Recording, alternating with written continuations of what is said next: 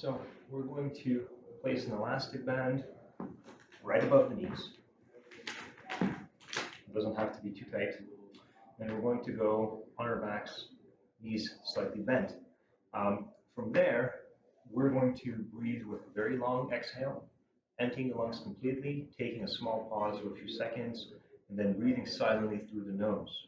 We're going to repeat this for as many repetitions as needed.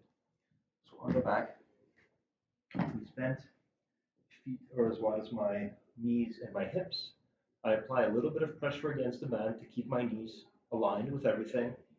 And from here, I'm going to gently tuck my hips up as if I'm getting pulled by my back pockets. I'm going to feel the back of my thighs work. And I'm going to reach both hands towards my knees as I want to lengthen my arms and wrap my shoulder blades around my rib cage, palms up. From here, exhale. Hold it and breathe in through your nose. And repeat. At the end of the exhale, we should feel the abdominals engage. And as we inhale, we should feel that the tension remains there as we feel the rib cage open up.